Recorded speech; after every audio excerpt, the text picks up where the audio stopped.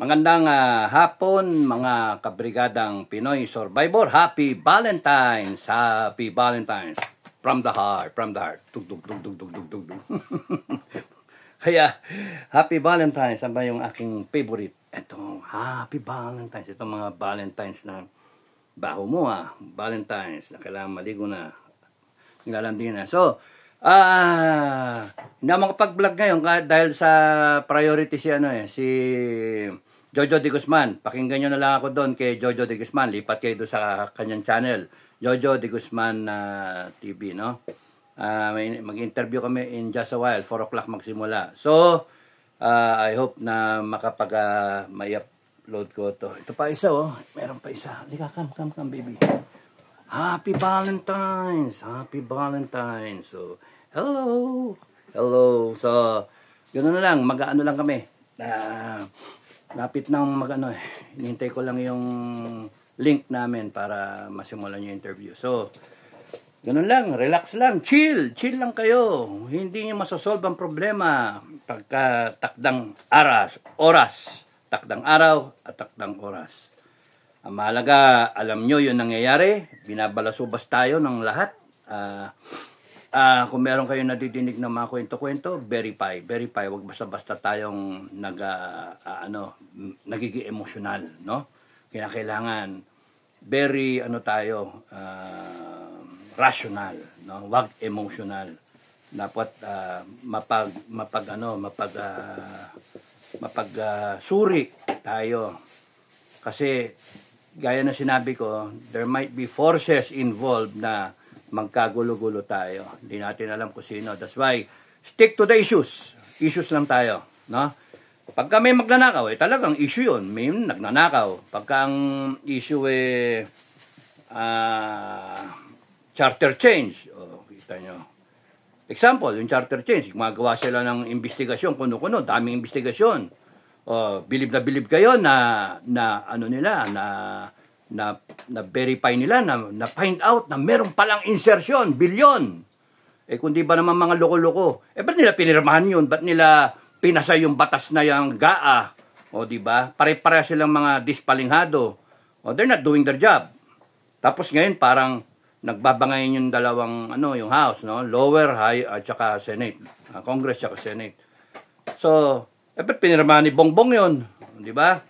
Pare-pare sila. They are all incompetent. Incompetent. Yun. Incompetent. Pero sa ngayon, happy Valentine's na lang sa inyo. Incompetent. Nakakasuya na, pero yun yung totoo. Yun yung real talk. Next time, kaya kayo, Philippines, people of the Philippines, Filipino people, next time, huwag kayong makuha sa konting katamis ng salita, sa konting uh, blah blah blah narrative na ano na pro pro Pilipino. Hindi. Suriin niyo na. Ngayon kung yung naghihintay ng listahan na gagawin ko para sa Senado, eh, hintayin nyo. Eh, hindi pa ako magano. Uh, ayoko pang ayoko pang ilabas because next year para may eleksyon. Tignan pa natin, tatanungin ko pa kung tatakbo itong mga tao at saka verify natin yung kilos nila uh, next year, ilalabas ko yung aking listahan. Yon ang guaranteed, guaranteed. Pagka binoto nyo, sigurado yon na maka-Pilipino. Uh, kasi kung titignan nyo yung current crop natin, wala. Kaya may mga Pilipino na nagsasabi wala tayong pag-asa eh. Seemingly, wala tayong pag-asa. Kasi we, uh, we continue to repeat the cycle. We are in that cycle na paulit-ulit Paulit-ulit, one generation after another generation, ganun din, the same thing. Payaman sila ng payaman. Sabi nga ni Digong Duterte, mahirap lang pumasok. Nung nag-graduate na, napakayaman na. Oh, saka nakakita, di ba? Kasi nga, liquidation by certification. Ilang dekada na. Tapos ngayon, kung magsasalita sila, akala, uy, natuklasan namin, bilyon-bilyon. Uh, walang kakwenta-kwenta naman yan na kala mo, lahat sila may integridad, lahat sila honorable. Di ba?